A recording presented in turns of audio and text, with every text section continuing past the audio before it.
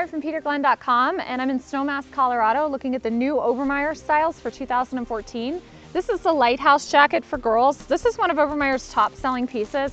It's very, very cute, very technical, um, and just great for both out on the mountain and for every day.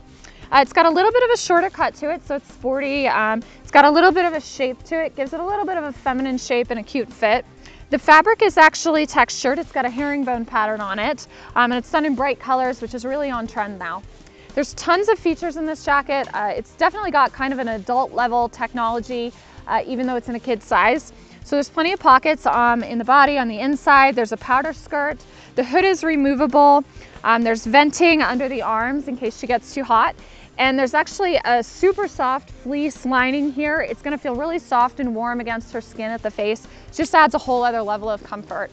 This is a great style for out on the mountain, definitely great for every day, and it's definitely something that your little girl will love to wear.